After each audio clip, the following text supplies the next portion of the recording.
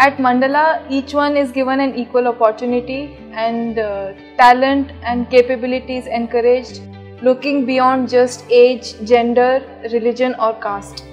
There were two areas that we wanted to focus on. One was the farmers and to encourage them to do sustainable organic farming practices in the cotton belts. Second area of focus was to see how we can eradicate poverty by uh, giving a skill to women and ensuring that we can give them opportunities of work inside Mandala.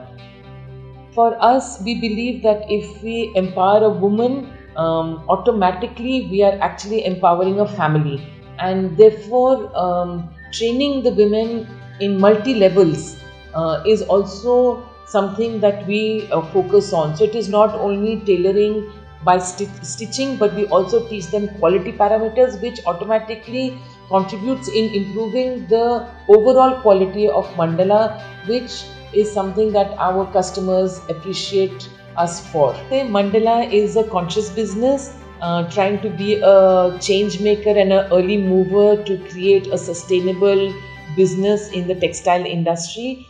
And I feel instead of being an island of success, Mandala aspires to be an ocean of change.